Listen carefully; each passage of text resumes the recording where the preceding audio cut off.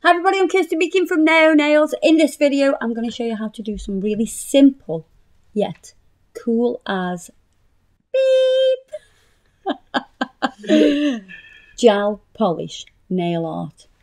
This is easy, but looks difficult. It's not though, promise.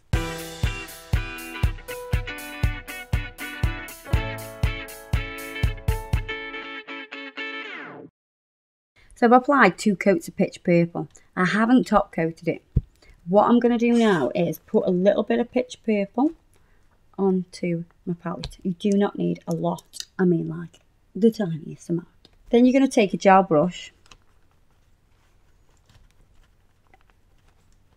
And this is what I want you to do. You see that amount there? Just that. That's what you're going to put on to this nail. So you know that it's a thin amount because if you go across on the white paper, you know it's not a lot. This is what I mean. You don't need a lot. Because when you apply it on here, you won't actually be able to see how much you're putting on. Does that make sense?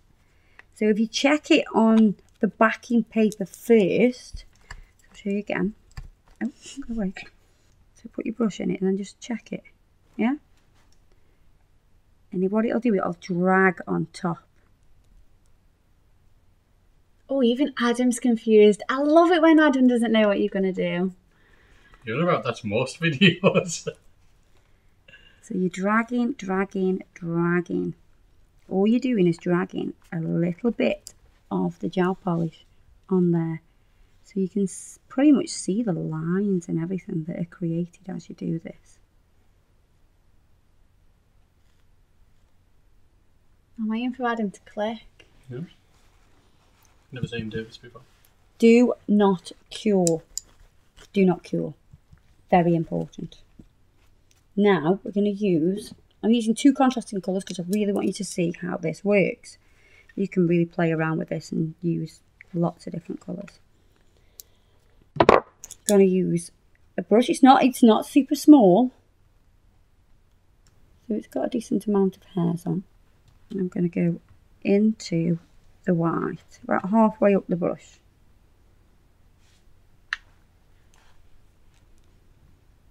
And I'm going to press down,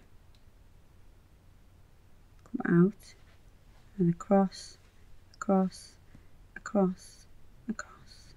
You see how it starts to fade? Same again, reload your brush going to go across. Keep moving across and you'll see it fades.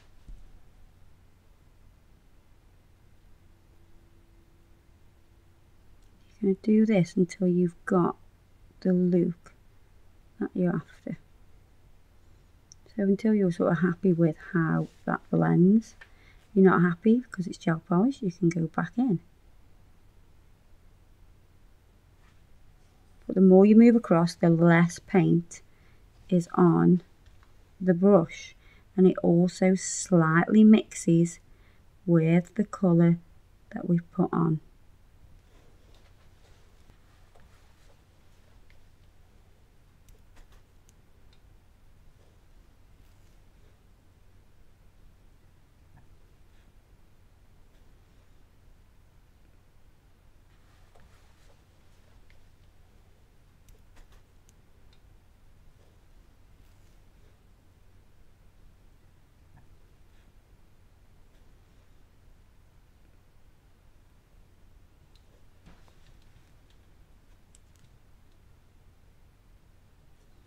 So it's more like a sort of calla lily petal.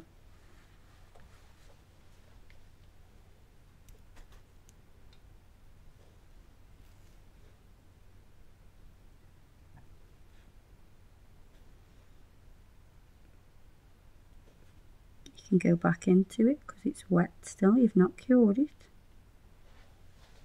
And you can add more definition.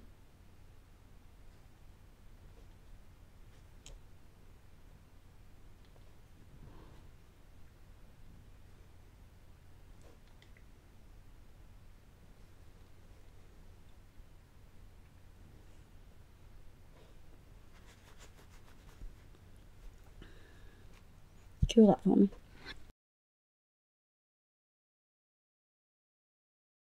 Now for the centre, I'm going to come round.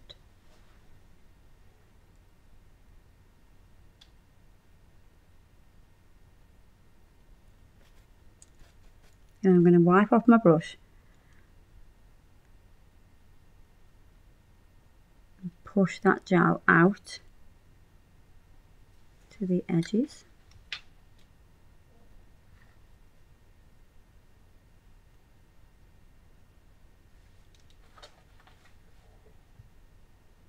So there's not as much gel in the middle. And I'm just going to gently circle that into the middle. Then I'm going to go around the edge and slightly on to purple this side to create some detail. Pop that in the lamp.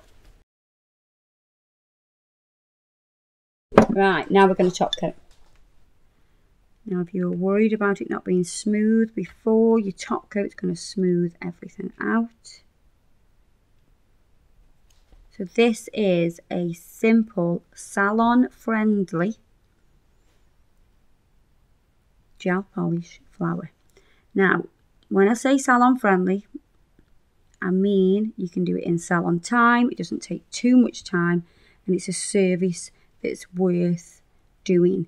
Some people, like me, do services that take a very long time and I have to charge a lot of money for it. Whereas a normal salon, you know, a normal salon that you see on the high street, put that in, needs to do quick designs that are effective. So this is a cool way to do a quick design.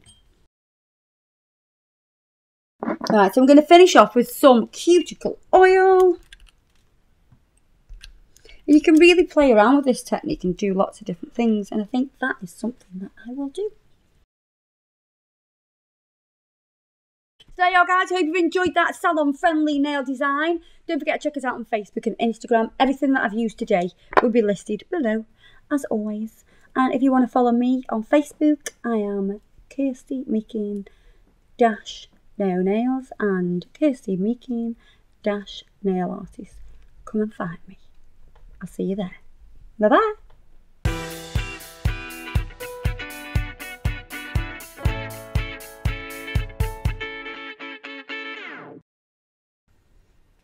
Then we're going to use some of that gorgeous purple colour. Oh, and my tummy's going to go berserk.